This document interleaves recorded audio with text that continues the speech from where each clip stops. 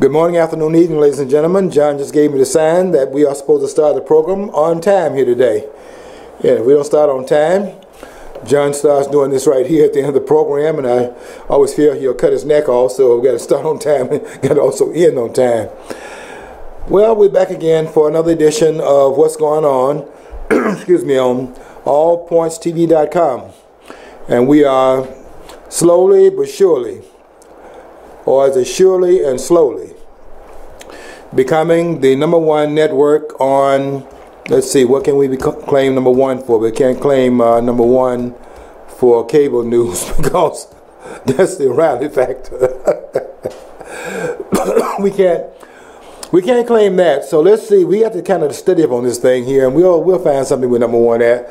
Maybe maybe the number one program that starts on time, because as soon as that clock strikes uh, two o'clock, we up and running and ready to go. And right here in our favorite st studio, allpointstv.com.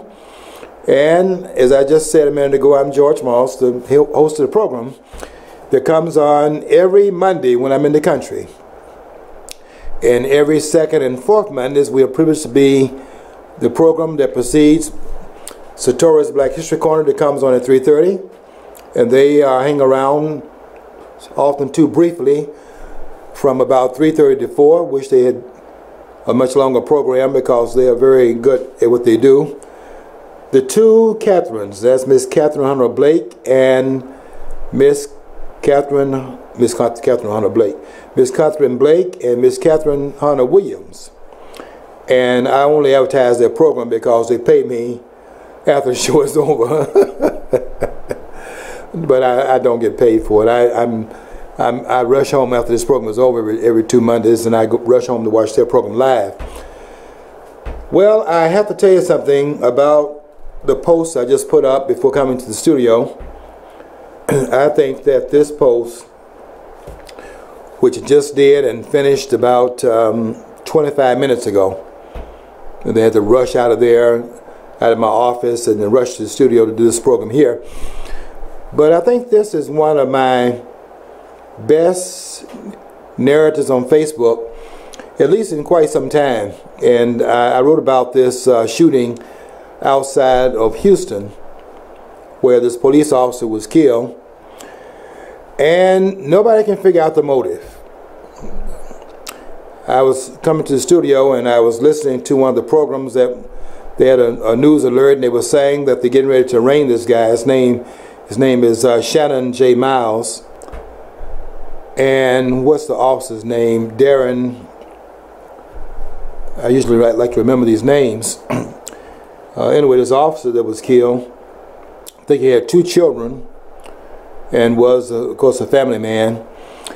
And everyone is trying to figure out just what could the motive be. This man sneaked up behind a police officer was filling his patrol car up with gas and this guy, in a premeditated way, went snuck up behind him, gun drawn, and when he got close enough, opened fire on this guy and shot him in the back.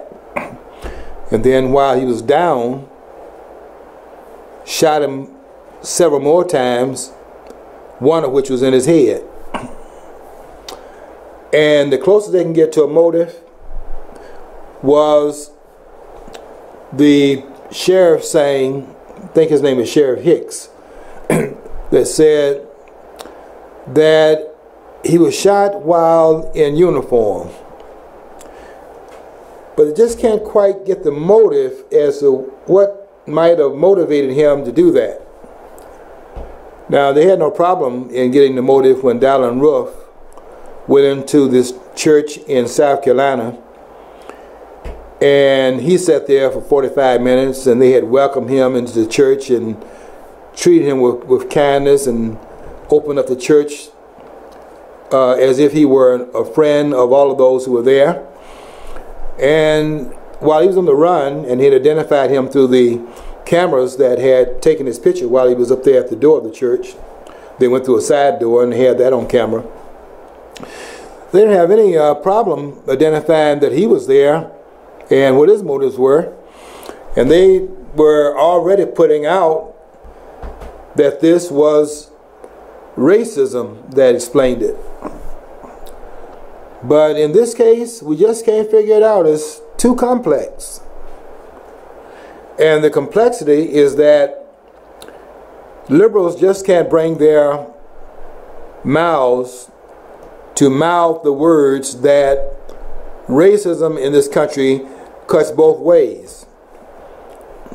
And that if they say, for example, that this shooting of this white police officer by this black person named uh, Shannon Miles, Shannon J. Miles, then you got to then change the racial narrative, at least to some extent, where you now have to say that blacks can be racist also. And what liberal wants to make, make that claim? Do you know what I read too? That, that they actually, when they gave out the uh, description of this individual, you know, the Shannon, I guess as they identified him now, that they actually didn't say use the term black or African American. They actually used the word dark complected. that's right. So I mean, even I mean, John, that's right. I mean, it's like it's like, okay, I could see using not the derogatory terms, not using them. I can understand that, but um, I, I thought that the description of the suspects is what a LEO, law enforcement officer, was supposed to be engaging in, and this is being this is a this ham type of hamstring is just ridiculous. It is ridiculous, John. Look at what they did with George Zimmerman when they when they simply changed his racial identification, and his dark complected fits fits right into what liberals do when what happens does not fit the narrative, which is that blacks are under siege in the country, etc., etc., etc and they did all kinds of things in that case, and they're doing it, doing it again. A little bit more subtle in this case here. You have to catch them at it, and I think I caught them at it and okay. wrote about it in my post today. I, okay, but see you grew up in the you know the pre-desegregated South days, mm-hmm. down south. Yeah. And you came north. You're here, you know, into Michigan. Yeah, no, okay. I mean, let's be honest. I mean, I, am sure that sometimes because I've had I've had cops go abusive, go get abusive with me. Mm-hmm. Okay, and I I was very polite. They started going off me, threatening to kill me and stuff for the uh, they're on power trips. But I mean, okay, it, there are probably instances, and I'm just assuming because I mean I've heard this so often from blacks that um, they had these issues with uh, cops. So you never had any uh, cop give you any bad attitude or threaten you or anything, or no? I, have had a bad experience with police officers, but I individuated just like I do everything else in terms of uh, putting it within the corridors of that particular situation. I don't make it that it's everybody that's doing that to me. And I've had some situations that I've had to think my way out of, and I, I had to figure out what was the best approach in terms of what was happening out there on the street. but I do understand is that person, that officer, that situation, in that time. I, will tell you what, what happened to me at, at uh, I was at a uh, at one of the coffee shops. One of my friends like to go to this uh, one one coffee shop, and it really doesn't matter which one as long as they're serving the same coffee. The one that burns the coffee. I, don't, I, don't, I don't particularly care for it myself, but you know he invites me out to coffee, and it was and it was his time to pay this last time, so I had to go on that one because I, I we, we I, guess the way it works there, you put five dollars into this, uh, whatever that thing is they do, and they they they, they do the uh, points, and then they get so many points for having credit on their account and we always, I was, you know, I buy the coffee every every other time. It's my time to buy the coffee. It was his time to buy the coffee this time, so I was not going to miss that. I had to go to, I had to go get my coffee. But I, I was sitting at, I was sitting, we were sitting at the table, and they have these long tables now because uh, this particular coffee shop expects you to come there and sit for a while, have your conversation, drink your coffee, you're enjoying yourself. And it's a place, it's a nice place to go and have, you know, conversation. You meet a lot of people in there. But I was sitting there and I looked out the window and there was this police officer getting out of his car. And I told my two friends that were sitting at the table, I said, watch this. And I went over to the door. I didn't stand in front of the door. I stood on the side. And when the officer came in, because a single officer, I asked him to get out of his car. When he came in the coffee shop, I put my hand out there and shook his hand. Now I told my friends, I said, now watch this. And I told them to watch this because I knew what was going to happen once I did that. And sure enough, once I put my hand out there, the officer shook my hand. And then when we went to the counter to offer his coffee, I went back to my, my to the table and took my, my seat. And that officer, John, could not stop talking to me. I mean, I mean, he could not stop looking over there, and he could uh, he couldn't hardly off his uh, uh, uh, give the order for his coffee because he had to talk to me and let me know that he appreciated it and blah, blah, blah. I mean, it was like a long conversation. And he didn't want to leave either.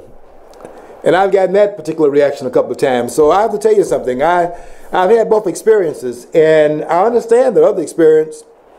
But I think that in that other case, where you've had that other experience, because it does, it's not always good because it's not always the same people. And when it's not good, the question is, what do you do to make it better? Because it can be bad out there. But my my role, I, I was stopped over here uh, in Otisville, and I mean, how many blacks out there? And at two o'clock in the morning, what blacks are riding around the street late at night, really early in the morning in that case, and you're not going to draw some suspicion uh, coming out of there. And I, I was at a light, and the officer was next to me. He was over there parked to my left, and I was over there on the right side at the light. We both were stopped. Couldn't have been speeding because if I had been speeding, it would have pulled up behind me and gave me a ticket. We were on the same side. So the light changed. I went through the light, then he pulled in back of me and put the light on me because he had a question. I'm sure. And I knew that this was going to be harassment because I wasn't doing anything wrong, and I knew I was out there in a on a dark street, in the back in the booth in the dark, and I knew that I had to think my way through it before I stopped. So I kept going, but I went at a, at a speed where it could not be conjured up that I was trying to get away. I went at a very moderate speed, about between five and ten miles an hour. But I was going to a place where when I finally stopped, I would pull into a parking lot where there was adequate light, lighting because it was very dark on that street. So I went. There was a there was a. It wasn't a 7-Eleven, but it was one of those those um, parking lots, real large parking lot, and had a lot of flags out there, not not the, like the American flag or some other kind of flag, just little flags that would uh, be, be able to say, "Hey, we're here, we're open." So I pulled in there, and sure enough, the provocation came almost instantly when he got out of his car.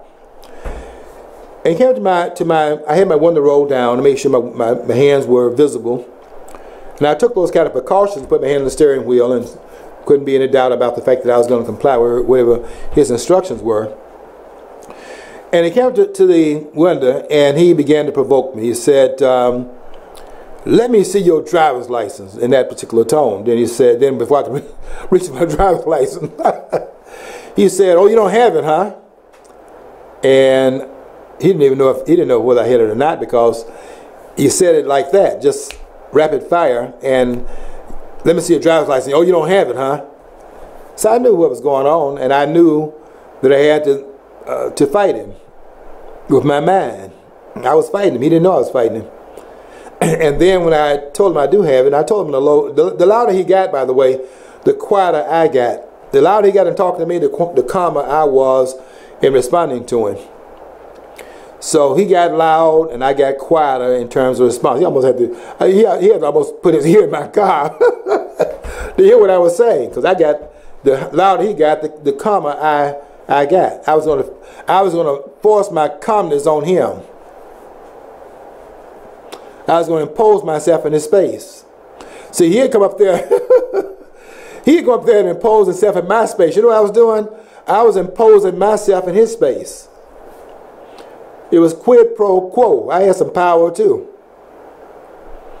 He didn't understand the power I was using. He understood his power. I wanted to understand my power. and so he then asked me, because I had the driver's license, I told him I do have the license, and I showed it to him. Then he wanted to see my insurance papers. And you don't have it, huh? And I had that too. And I told him I had it in the glove compartment. And I made sure he knew I was going to, I was reaching to get it. I showed him that. So he kept on and kept on and kept on. It went off about five minutes. Didn't I didn't it didn't it didn't move me. I wasn't provoked.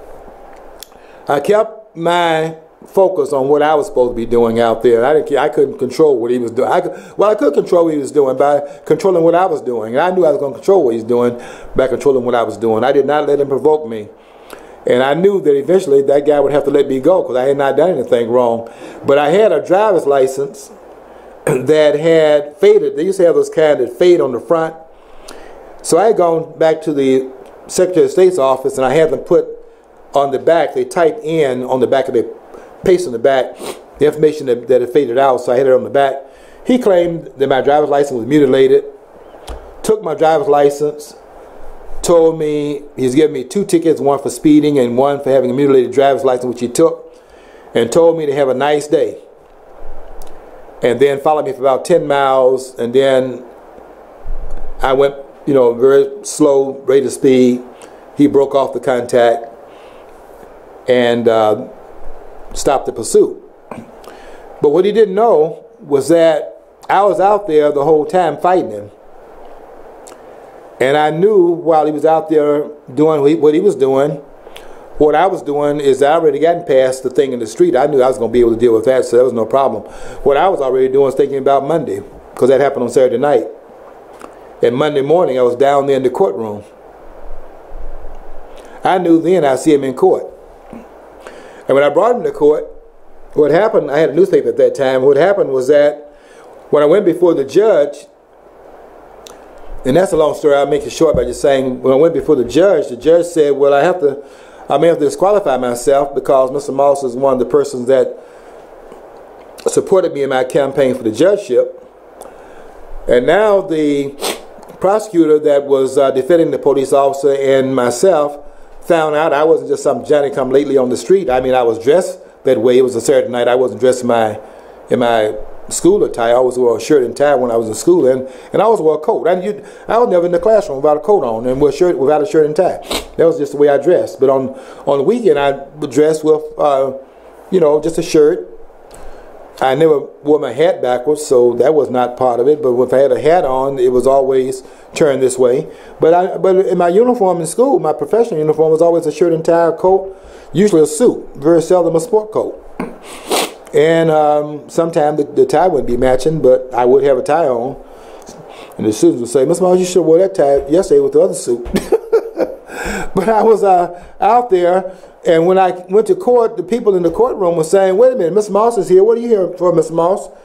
And the guys and the judge said, I have to tell you that I may have to disqualify, myself because Mr. Moss supported me in my campaign, and I may have to I have to let you know ahead of time that I'm I, I, that he did, you know, support me. And they told the judge that they believed that he was going to be fair and there was not a problem. Now they want to negotiate. But I don't want to negotiate at this point because I want them to produce their driver's license because if they I couldn't prove that I wasn't speeding because that's his word against my word, but if I can but I can invoke his word against his word if that which was visible, which was a driver's license, was not in fact uh, mutilated, which it wasn't, and I had the information on the back of it, if that in fact was not true, and that could be proven by him producing the driver's license, then the other was probably could be impugned as, as well as not being true. And when he could not produce a driver's license, he could have produced it, but if he had produced it, it would have contravened his argument that I was out there acting uh, untoward on the street and also acting unbecoming in terms of having a driver's license that was no longer valid because it mutilated. If if one is not true, then the chances of the other not being true is probably um, false also. And I just asked him to produce the driver's license. And when he couldn't produce it, that was a problem.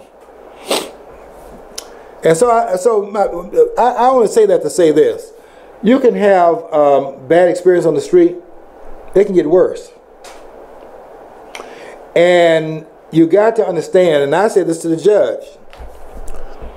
I said that um, uh, because when the, because I I, had another, I had another case uh, where I had uh, gotten a ticket. And I told that, that that particular officer, "I'll see you in court." Uh, that was over there off of Beecher Road. He he was a parked uh, facing that way and I was going in that direction, he claimed he was able to put to turn his um, radar to the back of him and pick me up at speed. And that was another situation. And I knew he could he had not done that and he claimed and I, when I went down the side street, he came out of there and then went and back on me and, and put the light on me and, and, and, and gave me a ticket. I was, on, I was on my way to school. I wasn't going to be late for that because I, at that time I was a principal. And I had to be there a certain time and I wanted to make sure I got there before the students were there. And he gave me a ticket, and I told him that I wasn't speeding, and, and, and I think you know I wasn't speeding. And I told him that I'll see you in court. And when I got to court, uh, in that case, it was another situation that came up where there was a case before mine with the same police officer. He given this guy a break, gave me the full weight of the ticket, but he claimed it was because I was um, acting um, in a belligerent way. And I said to the, and the, and the judge asked me, he said, uh, Mr. Moss, um, um, were you, were you speeding? I said, no, I wasn't speeding. He said, well, uh, well then you call, then you're saying that this this police officer targeted you because of your race. I said, I can't say that because I don't know this officer. But then when the officer said that I was talking back to him, I told the judge this. Now I can say that this officer is lying because I don't carry myself that way. And I said that I'm over some students, and I, that's my job, and I have some people under me, and he has respect, on the, he has authority on the street. And I said, I respect that. He makes his living one way, I make my living another way. And so that happened in that case. My point is this, though. My point is you have to know how to dig. If somebody got a shovel and they're digging um, a grave for you, you have a shovel too, and just dig and just dig your way out of it. You know, I, I read a, a, case in um, you know in the Middle East. It was a case of um, this this one guy that was traveling in in the Middle East, in I think it was in Egypt I know it's in the, in the desert, in the Sahara Desert.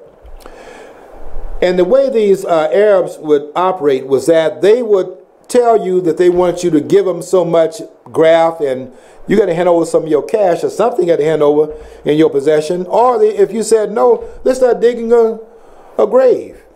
And they go and start digging and you know they plan on putting you in there. So this one guy, what he did was he took out his shovel, had it in his backpack, went over and started digging another grave. And he started digging their grave. And when they saw that they were there digging, they looked over and saw him digging, then they decided that maybe that's not a good idea. And so, if a person has a hammer, you know how uh, they got that book I call, you know, Hank Aaron said, I had a hammer. Yeah, the other guy had a ball. He was throwing it at him, throwing at the plate, but he had a hammer. And he hit 755 home runs with the hammer that he had. They had the ball. They used to ask him, uh, when you went to the plate, what did you look for? They thought he was going to say the curveball or the fastball or the change of pace, uh, the changeup. He said, when I went to the plate, I looked for the ball. That's what the pitcher had. He had another thing. He had a, he had a, he had a bat. And the bat is, you know, it's like, you know, the paper covers rock, rock breaks the scissors, scissors cut paper. You got to understand that. And I understood that. I'm, I'm saying there's a way to get out of it. That's what I'm saying. And you have to know how to how to do that. I have friends that are very good at it, and they've told me about some of the experiences. And we often talk about it, and, they tell me about what, how they went through a situation. I had a friend that was telling me, you know, Ohio, we beat y'all this year too down there. You know, we're gonna take out to the to the woodshed. We got Harbaugh is our is our coach this year. So we're taking it We're taking it we're taking it to you this year. Starting Thursday we play I think we're playing Utah. That's the first victory. We're going to walk all over them. And they're going to think we got our golf shoes on when we get through. We're going to, we're going to stomp on them. Knock on wood. But, you know, we, we, got, we got this, I'm talking about this mindset that we can't get through stuff. I had a friend went down to Ohio, went through Ohio. He was taking his family down to visit uh, his his let's see was it his no his, his mom his mom and dad. And you know you go higher go to Ohio, they know how you think in Michigan. We they see in Michigan is a different kind of mindset. The mindset we have in Michigan is different from the mindset in Ohio. They expect you to understand that the speed limit says uh, 55 or, or if it says 65, they, they're not talking about 70. But up here in Michigan, you know, if, if, if they see, if they got a speed limit that says 70 and they see you doing 75, the police officers here that's on the side see you speed by 75, just five miles the speed limit, they practically wave at you. Down in Ohio, they see a see a, a, a blue tag that has Michigan on it, and they know how you think up here, and you got and particularly get that hat. They know that they can, they got they got somebody now that just don't understand that this is not Michigan and you're gonna try to do five miles over. That's the, that's our mentality. And I've been stopped by them and so on and so forth because of that mentality. And I was bragging about it. I was saying, oh, I was gonna just do it five miles over the speed limit. He told me, yeah, speed limit is. Uh, I was only doing five miles over. He said, yeah, the speed limit is sixty.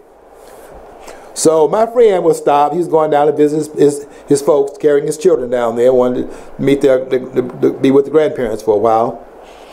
He said, when they stopped me, he said, George, I, I we, you know, we talked about this, and I did everything that we had talked about. He said, I had my hands on the steering wheel, turned the light on before they got to the car. He asked me where was I going, and did I know I was doing this, that, and other, and five miles over the speed limit. I told him that I wasn't aware of it, but if you say I was, then that's what I was doing. And the guy talked to him a few minutes trying to figure out his attitude. He found his attitude was pretty good. He said, I, two minutes later, I was rolling again back on the street. I mean, it's not always that good, right? But I understand that much of that, uh, I'm seeing in these videos, much of that is on the persons that is out there acting like Michael Brown. I can tell you right now, if you try to do what Michael Brown did, and they talk about hands up, don't shoot, and all that Black Lives Matter, I can tell you right now, you're going to get shot. Now, there's some out there just like, and I don't even have to say this because you have bad eggs in every every um, in every uh, area. I wish it was as few bad eggs on the police department as it would be like in our government. That's a problem. John, need some. You got some tissue out there, John? You know, I should have done that before I came before I got on there. We were so busy trying to start on time that I had to get on the air and then come up here and then embarrass myself in front of, in front of the audience. But I, I have to tell you something that. Um, you have to continue to be in control is a, is a, is a main thing. And don't give up the power that you will in those situations. And I have not given up my power. That's why I have never gotten hit on my head, although I understand that the intent may be, may be that. But I have an intent also. I have, a I have my intent is uh, for some reason different from his intent, and that intent is not to get hit, not get hit on my head. I don't like getting hit on my head. That that hurts. And so I'm trying not, not, not to go there. Uh, and, and not be and not be one of the persons that have been there and done that. I don't want to go there and do that because I don't like pain. I don't know how you feel about it, but I'm not. I'm not. I'm not into too much um, masochism myself. You know, I don't like nobody beating on me. Excuse me one second.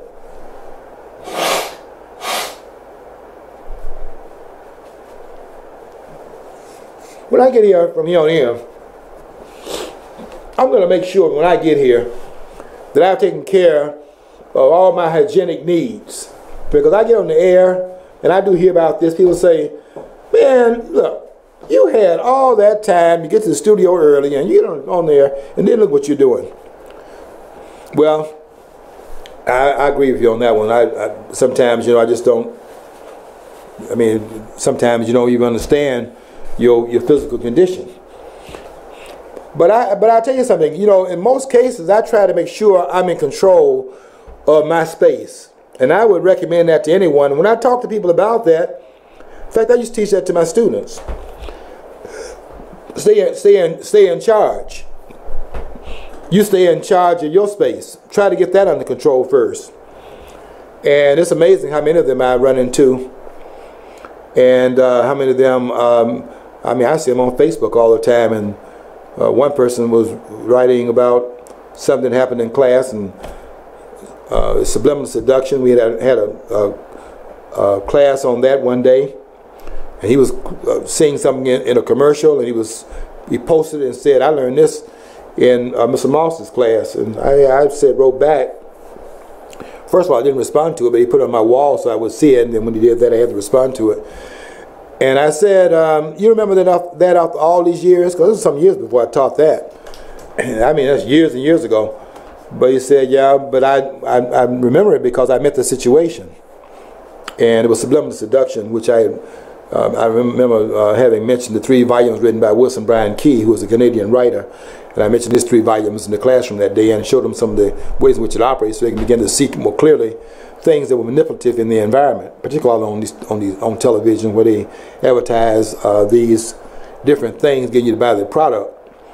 and why you can't resist because of the kind of uh, subliminal messaging that they put in, in their in their commercials. But I wanted to be, but I, but I was trying to get them to be in charge of the space also, and that was part of, of what I would do in the classroom. Stay in charge, and you'll find that whatever situa situation you're in, if you act powerfully, then you put the other person in check. And that, my friend was telling me that that's what I, a lot, a lot of my friends have had those situations, and they uh, uh, laugh about it and say, you know, two minutes later, this one guy was telling me, I was back on the street rolling. He said my family was okay and all that. Uh, by the way, let me let me uh, uh, since I'm on this point, let me let me uh, ask you about this, this. Have you seen this film called The Great Debaters? Now, I don't know if you've seen this. This the, if you saw the film, you might not have seen that one that one scene. But what would happen? What happened that one scene? Now, this is in the deep south uh, back in 1935, you know, when they when they were when when at Wiley College. Now they had it. They had they had Wiley, they they, they had this they had the school supposedly going up against Harvard, but they didn't go up against Harvard. They went up against um, uh, I think they went up a school went up against a school in California, in in the great debate. But what they did in this one scene is that, and this is this is a true story. They had this one this this this um, college uh, professor at teaching at a, at a black college driving down the street and they had it so that the dead pig would be out on the street and they're going to claim that this professor hit the pig and killed these people's pig. Now, he has a check that his wife had signed over to him. And they came out and said, You hit our pig and you're going to have to pay for that. And he had this check in his um, in his pocket, knowing that he was being accused of something he had not done, and his son, seeing his dad being falsely accused and knew his dad was falsely accused and was out there trying to defend his dad, his dad says, Junior, get in the car. And Junior, by the way, was James Farmer. That's a true story. His dad was James Farmer Sr., but Junior was James Farmer, who later on would come out of Wiley College and set up the, up the civil rights group called CORE in 1942, the Congress of Racial Equality. The ones on that debate team who would later on debate Malcolm X. That's why he thought he could debate, debate Malcolm. He never won any of them, but that's why he got the courage to even even uh, try it. Of course, later on the word got out, don't don't debate this guy because he didn't go to school like we did. Therefore, he doesn't think in a box like we do, and that could be that could be dangerous. But he told us his son Junior get in the car. Well, Junior felt his, his dad was being mistreated. He wanted to stay out there and defeat his dad. I mean, he wanted to defend his dad. His dad told him, Junior, get in the car. And he saw his dad writing the check, sign the check over to these people making this false accusation. And when he got in the car to drive off, Junior had his mouth open, thinking his dad had been an Uncle Tom. He backed down. Dad, I mean, he had that look on his face, disappointed his dad. Thought his dad should, should fight. And his dad turned around and he said to him, Junior, the next time I tell you to get in the car, you get in the car. And that was instructive, very instructive. You know why it was instructive? Because there are some fights you cannot win. And the dad knew it and the son didn't know it, and he taught that to his son. You can't win every situation. You, look, you win the ones you can, and you have to understand the ones you can't win, at least in that particular situation.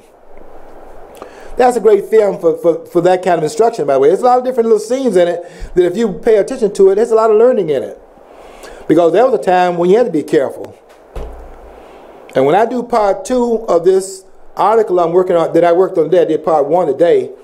I wrote about this, this police officer that was killed in, in Houston, that the three blind mice can't understand why this officer was killed by this black person that was unprovoked in this premeditated murder of this officer. But nobody can understand what it was. He was, although the police chief Hicks said he was uh, in uniform, in his police uniform, but he couldn't figure out what the motive was. So I asked a question in my post, was it because, could it have been because the uniform had buttons on it? Could that have been it? What about how he wore his collar? Could that have been, been the case? They just can't figure it out. But they had no problem figuring out, you know, Dylann. Dylann Roof. We knew what the motive was there, but couldn't figure out the motive here. And so I've had some experiences, but it does not color my ability to be objective because I understand what that was about. And the paper came out and said, were they too quick to assume that Black Lives Matter might have had something to do with it, that they rush a judgment too soon? No, you didn't rush a judgment too soon, and that's exactly what it was about. If you can figure out Dylann Roof, you can figure this one out too. And I wrote about it in my Facebook post, one of my best posts that I have done at least in some time. They're all good, I must say that. They're not always as good as I should make it because I am sometimes rushing to other events. When I get a chance to read and proofread what I write, and then clean up some of the things that I may have, uh, have overlooked, because some words look the same when I'm not wearing my glasses on the screen. You may see an I and think it's an E and all of that, but when I get it proofread and go back over it again, it's, it's pretty much what I want, how I want to read. And this one was one of my best ones, I think, and I already got some, some people commenting upon it.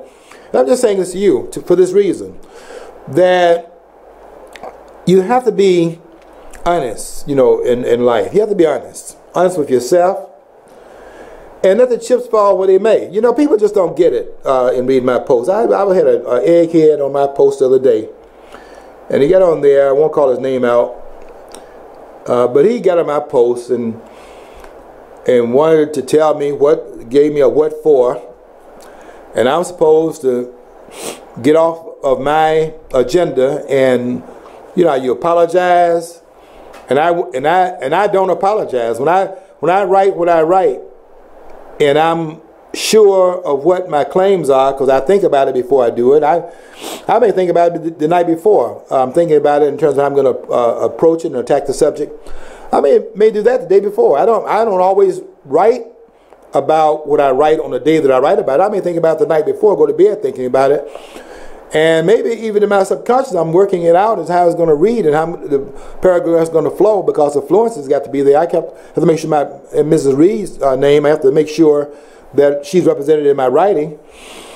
And I have to make sure I'm fluent. But when I put it down on, on that paper, I said what I want to say. And, and those waiting for an apology uh, for it, I can tell you right now, you ain't getting one. and that's and, and, and I tell you, in, in, the political arena, that's why I like Donald Trump, Donald Trump so much. And I think Donald Trump, quite frankly, for a lot of reasons, I think Donald Trump's the next president of the United States. I think American people are ready for, for this. I mean, are you ready for this? What's that guy's name? The magic guy, the guy does the magic show. Are you ready for this? Know that one, but I was going to say um, I've been seeing people predict that uh, Trump's uh, number is going to fall, and but, but, they're really outraged that um, the, the GOP establishment's really outraged. yeah. we're not taking the pro-offered uh, other Bush, you know, Bush uh, twa, yeah. you know. Yeah, Bush is way down there. Yeah, I mean, it's like, yeah, 6%. Yeah. You know, of, you know the straw polls, but I mean. He's going he's to fade it even more. John. We don't want another, I mean, what, I mean, who threatened his It ain't going to happen. Who's gonna, who threatened his mom somewhere? Uh, John. Yeah, you know. John, you know it as well as I do. You pay attention to these political uh, things that are taking place there is a there is an American revolt going on. Have you picked that up? Look at the look at look at the, look at the three people in the leadership in the Republican and that's leading going toward the primary. There's uh, you know I just heard coming to the studio that Donald Trump and Dr. Ben Carson are tied at 23 percent in a piece in uh, tied for first place. Both of them got 23 percent. Now that's 46 percent right there. And then number three is Carly Fiorina. She has about 8%. And if you listen to her, you know why. I don't know. I, I see what CNN's doing, though. They're trying to go with the numbers she had in the first primary. And they're trying to say in the first uh, debate, saying, well, your numbers weren't X, Y, and Z. In the first um, debate that went on, you were in the second tier of the debate. We're going with those numbers rather than these numbers. The reason why they're doing that is because they don't want a woman on stage because the, the narrative, John, the narrative in the Democratic Party is that the Republicans hate women. You know, that's what she pulled the other day. Look at, she was comparing the, the Republicans to the Taliban and to ISIS and ISIL And Who's this? Uh, Hillary? Or? Hillary's doing Oh, that. th- this is a lot of crap. I mean, and, and it's like a, it's so. If you just look at the history of the Republican Party, they had more women involved in the higher level of the political structure of the GOP for years before the Democrats did. Way before. Way So, I mean, before yeah. John. John, it is a it. Look, these people are coming out of the woodwork. We see both the Democrats and the Republicans coming out of the woodwork because what you have in Washington is that you got a brotherhood of the two parties in Washington, and and these persons are coming from the outside. They got their mouths open on both sides. The GOP just better offer up somebody that they could be uh, not they're really happy with, but they know the resonates well with the people because they act like they we're. I mean, we're supposed to be in lockstep. We're going to offer it to you, and you got to accept this because this is who we like. Well, I don't like Bush. I never. I didn't like Bush one. I didn't like Bush two. And I detest Bush three because I, I three times not the charm. Okay. George the Third. George the Third. I mean, my God. I mean, what it's going to be soon? Uh, Chelsea Clinton. Basically, we're just going to have three three political families running the entire country. We already have that with the Rockefellers. We have that locally with the Regals. We also have that with you know we have that with the uh, Stabenow's probably got some kid in the wing. Dingell's been in power for what? Almost they're going to top out over hundred years yeah, yeah. So I mean, why? That's, that's the Michigan family. You know, uh, John Dingell, that family, his dad was in the office for 29 years. His dad was the one who he saw the signing of the uh, Social Security Act. Yeah, I know he was. That and- was FDR's term. yeah, FDR turns. And then his son was in there uh, 58 years, 29 terms. And then his, his wife is in there now. So that family owns the seat, don't they? I, I know. Basically, what, what they're going to do is abolish the elections, just give that to life. They're going to have grandkids coming to power and taking the power reins. I mean, I'm sick of these political career politicians Yeah. and their kinfolk. And so, and finally, I, and, that, and that's why I, I was I was going to say when I first got here to the studio that I, uh, for the first time in in, in seven years, uh, I'm proud I'm proud of um, of the American people. you know, I wasn't too proud after 2009. Uh, I mean, I voted for Obama. I'm not going to lie about that. I voted for him in 2008. I wasn't drinking the Kool Aid and believing all that nonsense he was talking about, but I just thought I didn't think the man could be this bad. I, I guess again, like I was just like Donald Trump. I, I knew he didn't have any experience, and I knew a lot of what he was saying was lying. But I thought at least he would use his particular oratorical skills and just use his crusade type movement that he had going, because there was a crusade going on in 2008 too, like it's going on right now in, in this campaign for 2016. And that campaign was one in which people had latched on to the idea that this man was bringing about change in the country. Hadn't been in Washington that long and only been in there two years uh, as a senator before he started running for the presidency. So he thought, well, he wasn't corrupted by the, by the political system in, in Washington, and we could use him as a battering ram to stop some of the politics going on in the Beltway. Only to find out he was disguised, more so than we thought he was. And we're getting what we're getting right now. So I haven't been too proud of, of, uh, of where we are for a while. But for the first time in a long time, I am proud of the American people to the uh, to the coefficient of 10 because what we have right now is that we have a full-fledged revolt on our hands. Anytime you have the three persons at the top of the ham in the Republican Party, and they are Donald Trump, Ben Carson, and Carly Fiorina, and in the Democratic Party, he ain't gonna get it. But there's there's an insurgency going on in the Democratic Party too. It's just unfortunate they got this socialist over there telling us he's a Democratic socialist. If you as if that goes in the same sentence. I'd like to know what he morphed because um, isn't he supposed to be registered as an independent? Last time I already saw his name on C-SPAN and he was talking. It's like uh, Bernie Sanders, I yeah, independent. Yeah, I mean, isn't that something? Yeah, one time he voted opposite of the Democratic Party, so that makes him independent thinker. you know? Yeah, right, right. One time he caucused with the Democrats, so.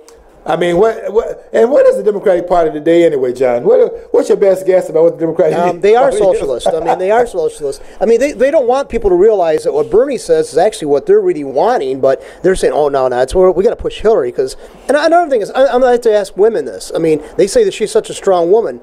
She was a failure in everything she's ever done. She, the only thing she did is marry the right guy. And I'm not saying he's a good guy, but he went somewhere politically. How is she a strong woman for being married to the guy that was actually one everybody was voting for? She's a failure as the Secretary of State. She was a failure when she was on that board to you know indict you know Nixon. She, mm. she got dismissed because of her unethical and li- behavior and lying. So what is she good at? Yeah. I don't understand what her track record makes that outsta- her outstanding. She's good at overlooking her husband's um, infidelity and overlooking his treatment of women that she claims that she is in fact trumping their cause I mean, compare. I thought this was over the top, comparing the Republican Party to those who are treating women over in the Middle East. I mean, it's an outrage, and women should. Well, I'm not going to say what women should do, but I but I think we have to look at this in terms of what that means in terms of how this is disrespectful of these claims that women are mistreated here on the level of the mistreatment women are facing over there with these uh, barbarians. Just, but that's but that's what they have to do because they have to hold their constituents in, in place. and I think that's what I was saying earlier. That's what I was saying earlier. I think that's why CNN and certainly CNN is not going to be uh, anywhere beholden to trying to get the Republicans uh, nominated uh, to the point that they can have a candidate running strongly in the general election in November of 2016. They're not going to be trying to feather that cap. So, but they have a woman on the, on the on the dais and have her, and she's a very articulate woman, very smart woman, by the way, and have her running in this in on that stage running for president with those men, and there's a woman up there running in the Republican Party. That kills that narrative that this is about these men that are trying to stop on the rights of women, there's a woman up there on the stage. You, can, you can't say that in the same sentence. So they want to have her in the second tier and hide her off and get out of the way. But her numbers right now are showing she's third in the in the polls. So I don't know you you hide her in the second tier in the second uh, debate that they have. and it's interesting that Ben Carson and Donald Trump are going neck and neck. And I prefer, quite frankly, uh, Donald Trump to Ben Carson. I think Ben Carson is a good, a good, a good person. but I think you have to, I think that when you have a Donald Trump that's actually been out there in the trenches, I don't mean necessarily in a political office, but in the trenches dealing with these politicians. I think that he's better qualified for the position than Ben Carson. But Ben Carson should be in administration. Can, can I tell you what I think uh, we should have in the in in the top tier of a Republican administration. Here, here's my here's my my list. I think here's here's my here are my choices, and you can take it for what it's worth. It is this is not written in concrete because I'm willing to do, do a lot of changing around as long as somebody's at the top that's not a politician. But I'll tell you what I'm going to do with the politicians at the top of the list also. But let me see what I think would be a, a very good resume for the American people. Because I think the American people are ready to break out of this mold of having these career politicians, nothing but a bunch of crooks up there in Washington. Every last one of them. Every last one of them. And I hate to tell you this because you're not going to like this. There are no exceptions. And I, and I can prove that excuse me, I can prove that by what's going on right now with this Iranian deal. Because there's not one person in Congress right now that's called this president on the charade that's being run. Nothing but theatrics. This is nothing but theatrics.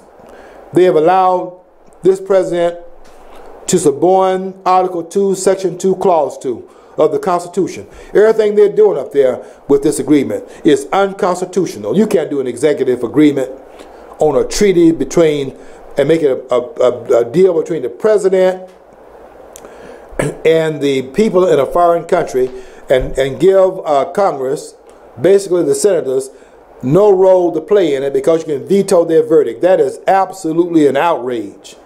And there's not one person in Congress that's raised this outrage before the American people. That's why I know they're, they're corrupt. All of them.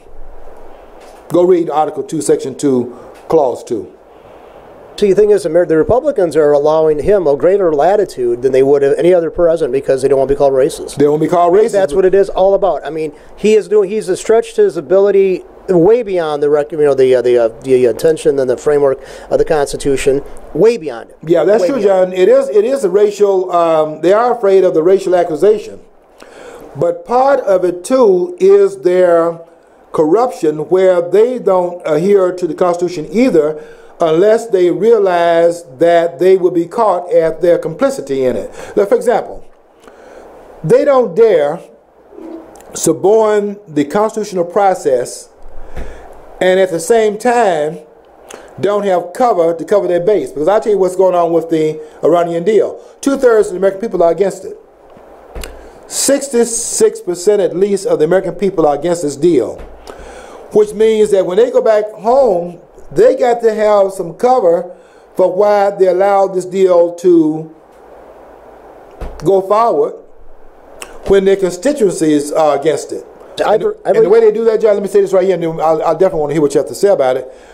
And the way they got, got through that is that the threshold by being an executive agreement, which is unconstitutional in this in this particular uh, process, the threshold has been they only need 34 persons for it to carry because if any if the president objects to it, they put the president in a position of being able to veto it, and then you have to override the veto, and all they need in order to sustain the veto is 34 votes. That's how they did that that part. Now that's constitutional. Well, I, I've brought this up to progressives, and they'll say to me, "Well, you know, foreign policy is something that is in the hands of the administration more. It should be more." And I'm, I, I don't. I said it's the Constitution says that they got to have you know approval of Congress, and they when it comes in regards to uh, Obama, it's like um, no, it, it doesn't concern you. Basically, that's the mentality of the progressives I'm dealing with. Yeah, uh, it doesn't concern you. You don't you don't know the full details. Well, guess They don't what? know it, John, and the, and the progressives don't know. Well, what do the uh, progressives know? When I hear a, a progressive talking, I'm listen, I'm talking. I'm listening to a person that does that's uninformed about everything, including this stuff they talk about the Fourteenth Amendment.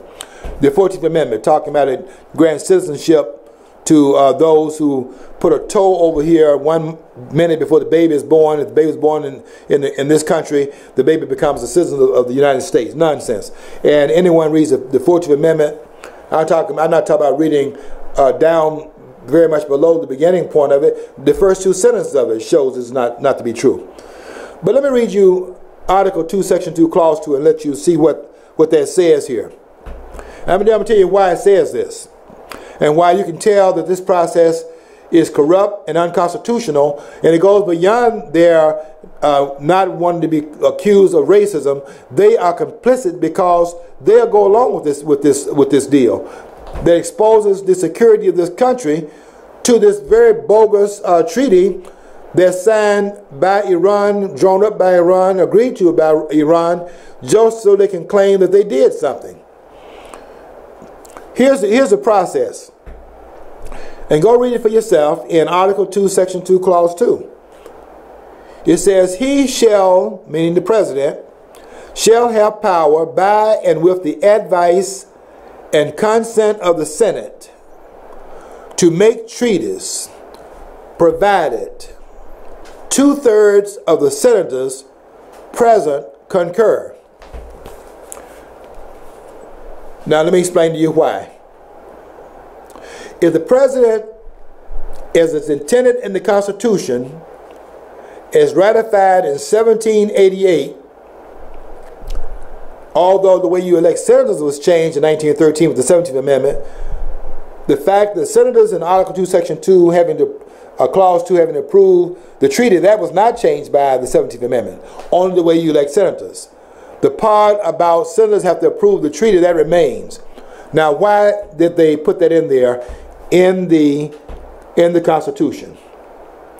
It's because when the president, representing the federal government, goes and, and signs agreement to bring about a treaty in the United States, before the treaty is approved, it has to be approved by the senators. And who were the senators at that time? They were the representatives of the states. You see, the members of the House representatives in Article 1, Section 2, those are the ones in the House of Representatives that's, that's set up in Article 1, Section 2. Article 1, Section 1 sets up the legislative branch of government. But Article 1, Section 2 sets up the House of Representatives. And you know, Article 1, Section 3 sets up the Senate. So the House is a people's body, and they go before the people to be reelected as a way of holding them accountable every two years because the people's voice is important, but the voice of the states is the one that's setting it up, so their voice is more primary. And I'll prove that in just a minute. so the idea was the president on the federal level makes an agreement, tentative, but the tentative agreement must be approved by the senators, which means then must be approved by the states. It takes two thirds of the states to concur. Now, if they do concur, then that verdict in agreement with the president will not be vetoed. But why, why would he veto it? Because he, they agree with the president. But if the two thirds do not concur with it, and they disagree with the president because the state's representatives are saying no to it, then the verdict is final. There's no veto possibility in that. Why? Because the, the state's voice was supposed to be the primary voice. Why? Because the states are the ones that created the federal government. Let me prove that that was the way it was intended. That is, to say they had the framers had a vision of how it was to play out, and that vision is being subverted by what is happening in Washington right now.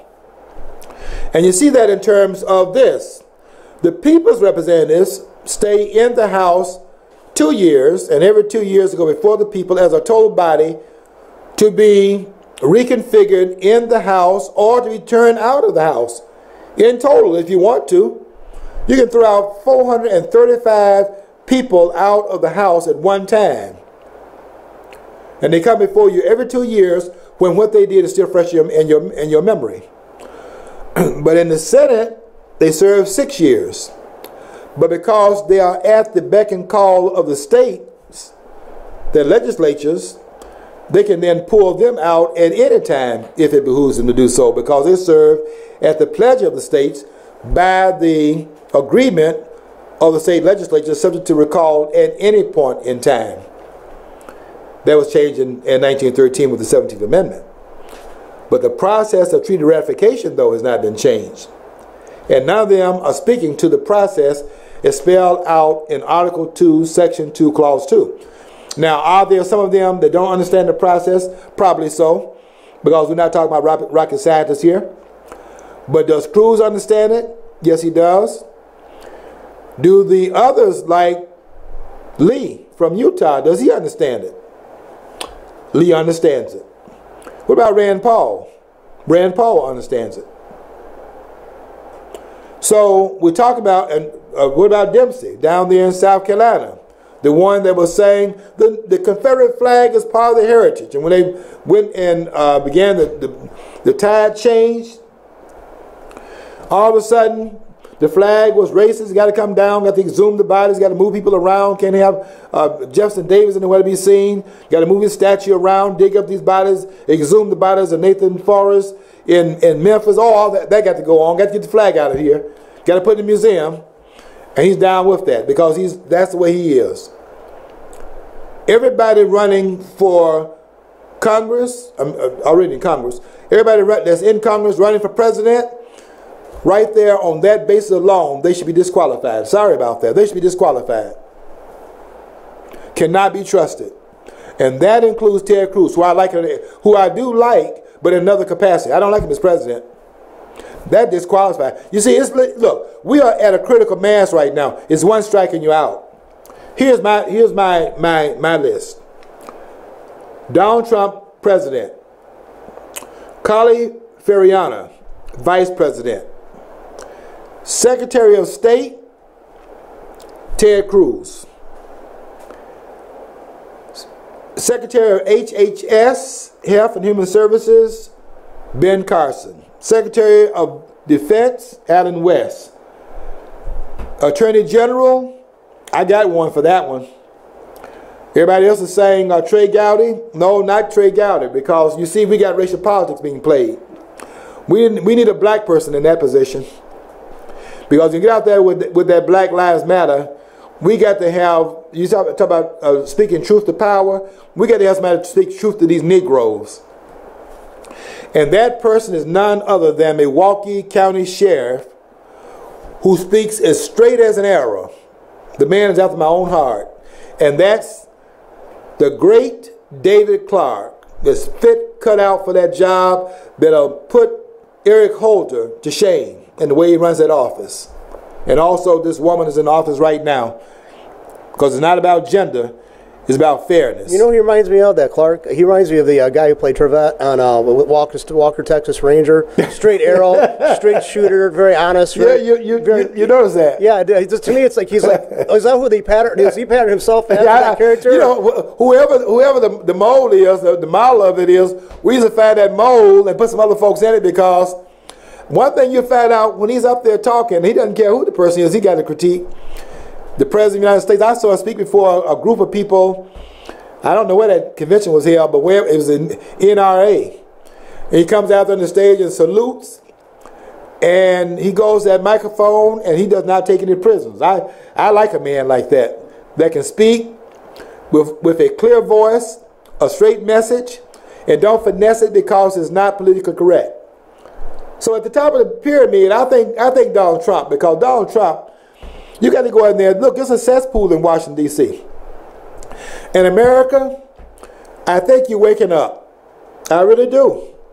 I think you're finally getting what, what we've been trying to say here at allpointstv.com. We're just saying it here. Other folks are saying it also. The Tea Party has been saying it. And I think you find, you know, is it sinking in? As Jim, that was uh, Clark in that film called, um, in that film um, that they had on that um, program where he was the principal of the school. And he asked the students, is it sinking in? And and the students, yeah, well, folks, I think it's sinking in finally. We have got to stand up because this is a fight. And you know what right now is happening? We have right now a